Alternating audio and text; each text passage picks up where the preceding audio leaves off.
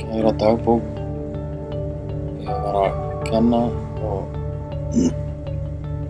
það var bara fínt. Allir krakkarnir voru bara góðir. Það leið bara vel, við vorum bara að prófa alls konar hluti og saman. Meira að segja þessi erfiðu, þeir voru ekkert í vandræðum. Bara fínt, sko.